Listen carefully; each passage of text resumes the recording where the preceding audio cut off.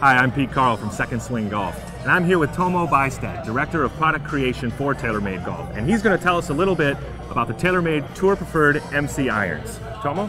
Okay, the Tour Preferred MC iron is really for a better player who is just looking for that little bit of extra forgiveness, a little bit of extra consistency of distance with this iron, with the speed pocket on the sole. So this speed pocket is going to deliver that a little bit extra performance that a typical player's iron doesn't have. So still very good feeling club, very soft feeling. It's got forged uh, irons in the short irons. So again, a great set for that better player who's really looking for, mostly for feel, but wants a little bit extra performance as well. Wonderful. Well, there you have it. The speed pocket helps separate the Tour Preferred MC from other players' irons.